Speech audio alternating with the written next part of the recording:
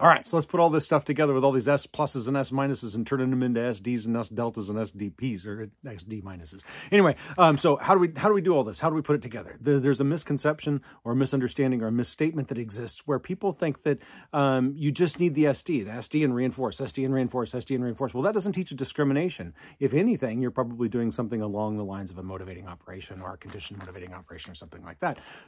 To develop an SD, you need a behavior to occur more frequently in the presence of one stimulus than in another. It's going to get reinforced in one presence of one stimulus and not reinforced in another. You, you get it? So we got the S plus.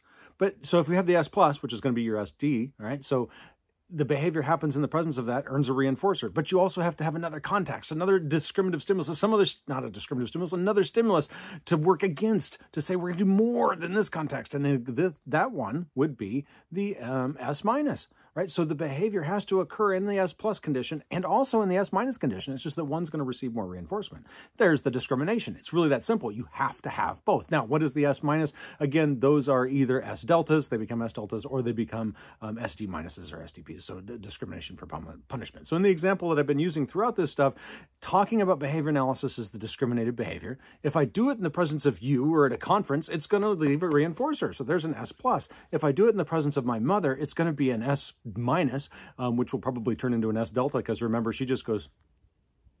Then if I do it in the presence of my daughter, it turns into an SD minus and she whoop, flings shoes at me and smacks me with the shoes. Of course, I'm joking about all the stuff, but it's an example, folks. So don't forget, you have to have the behavior in multiple contexts. Otherwise, you're not doing discrimination training. It's that simple.